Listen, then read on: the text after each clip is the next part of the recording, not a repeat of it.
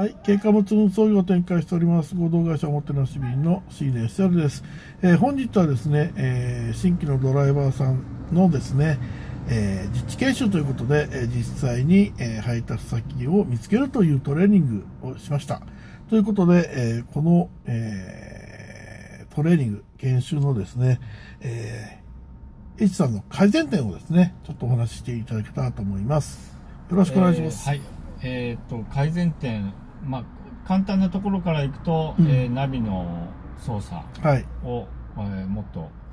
えー慣れることそれからメモの取り方メモの、うんうんえー、と持参の仕方うん。そこら辺を、まあ、これから考えないといけないなっていうのが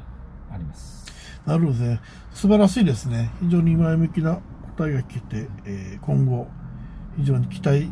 したいというふうに思っております。ありがとうございます、いええ、とんでもないです。ということで、えーまた次回よろしくお願いいたします。ありがとうございました